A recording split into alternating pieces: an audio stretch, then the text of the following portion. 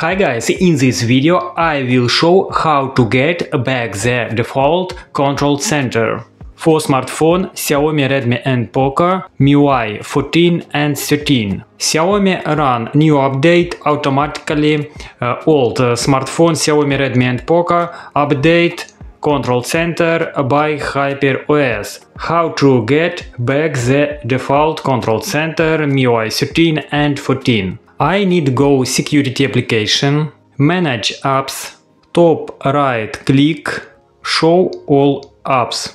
Click search and input name system UI plugin.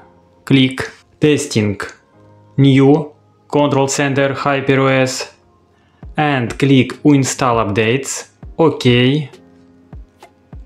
Wait. I go desktop and testing.